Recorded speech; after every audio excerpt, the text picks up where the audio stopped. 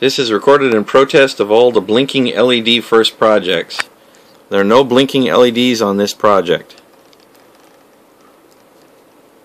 If I can get it plugged in one-handed.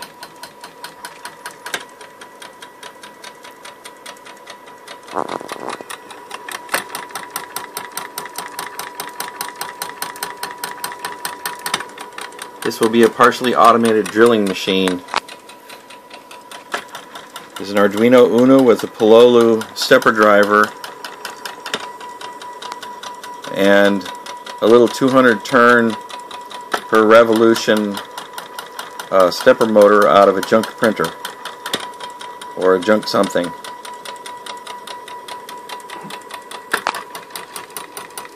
Right now we just have it set to uh, go one direction for five seconds and then go the other direction for another five seconds.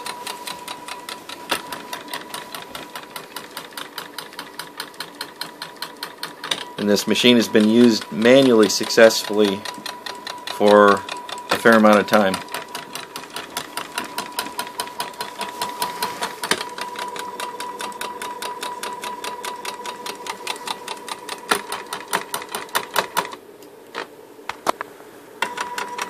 So